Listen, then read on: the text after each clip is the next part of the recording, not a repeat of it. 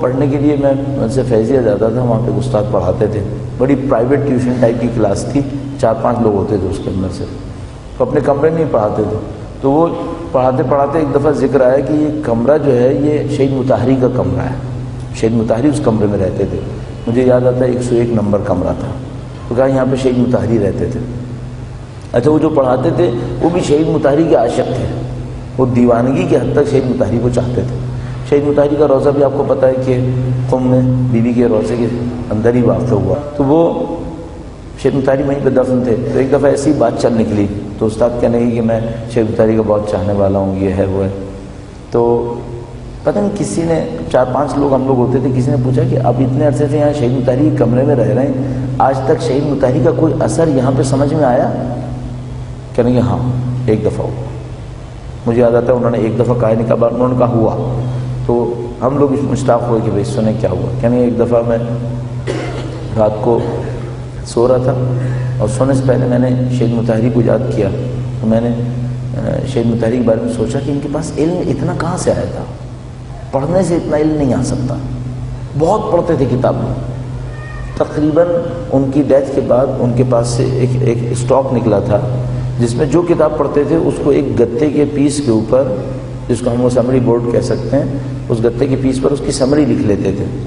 तो अंदाजन पाँच हज़ार कार्ड निकले थे। पाँच हज़ार कार्ड। और पता कितनी किताबें पढ़ते थे, नहीं मालूम। अल्लाह जानता है क्या क्या करते थे। बाहर कार्ड्स इतने निकले। अगर वो सब उन्होंने पाँच हज़ार किताबें। उसके बाद कहेंगे, हमारे उस्ताद कहेंगे कि मैंने हिसाब किया कि पाँच हज़ार किताब पढ़ने से भी ये इल्म नहीं आता है।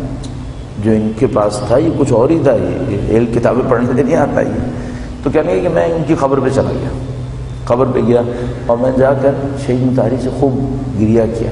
शहीद मुतारी के थोड़े ही फासले पर उनके उस्ताद की खबर भी है। अल्लामा मोहम्मद हुसैन तबा तबाही की और कहा कि भाई, आपने कैसे सीखा है? ये हमें भी सिखाया है ये है। वो खूब चिल्लाए, चीखे, जो कुछ भी।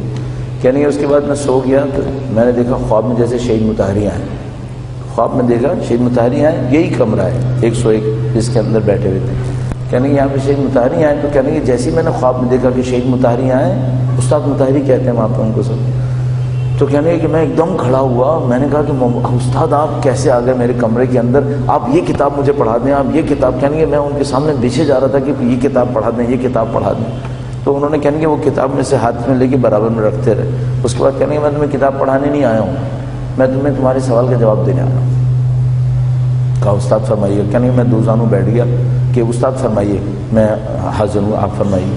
तो कहने उन्होंने कुछ नहीं कहा। वो उठे और जैसे तैरते हुए बाहर चले गए।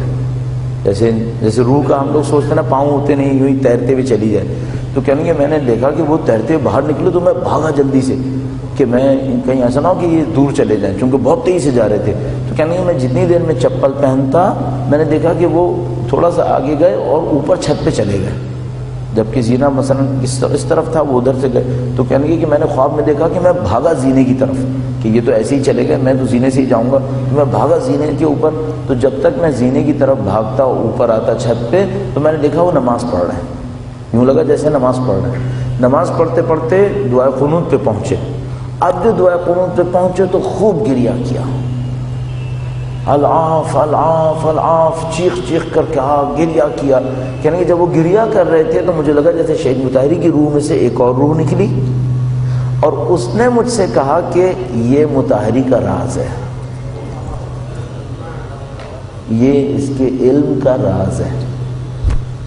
तुम्हें इल्म चाहिए?